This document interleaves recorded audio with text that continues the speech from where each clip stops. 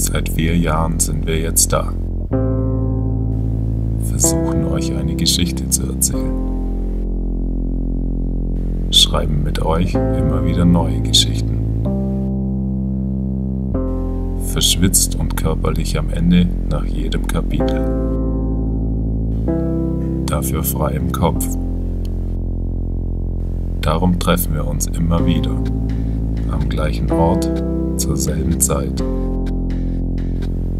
Zusammen sind wir gewachsen,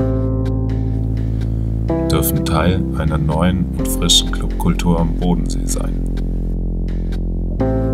Zusammen gehen wir weiter, denn die Geschichte ist noch nicht zu Ende erzählt. Ihr wisst, wo wir das nächste Kapitel schreiben. Am 7. März, 23 Uhr. Wir warten auf euch.